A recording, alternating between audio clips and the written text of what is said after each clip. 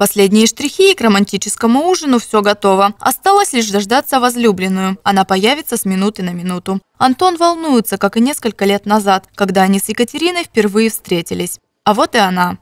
Как красиво. Да, я старался. Мне Нравится? очень нравится, да, очень романтично.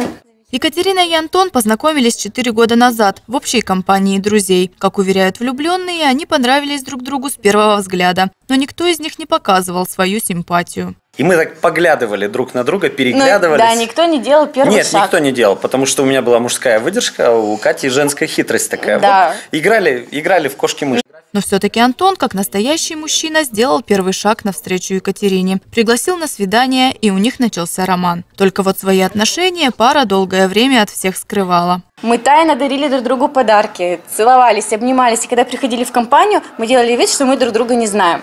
Ну, это тоже такого образа э, Тактика небольшая. Тактика была, да. Потому что Не компания хотелось. одна. Компания одна, различные обсуждения сразу же начинаются. Вот, шуточки, Вдруг бы, если что-то не получилось, то... Мало ли. Да, никто бы не задавал лишних В общем, вопросов. мы Сейчас влюбленные счастливы. Каждый день говорят друг другу слова любви и стараются как можно чаще обмениваться подарками. А День Святого Валентина для них – это еще один повод провести время вдвоем. Побольше бы таких праздников, когда можно действительно сказать о своих чувствах, наверное, в большей степени, чем в в другие обычные дни. И это здорово.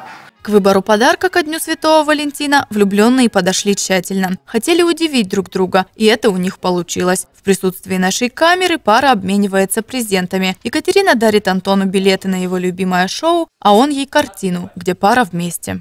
Так красиво.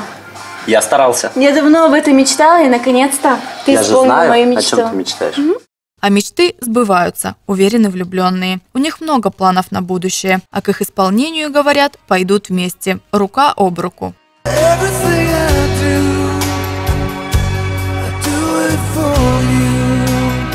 Ксения Иноземцева, Владимир Махмутов, Интера ТВ.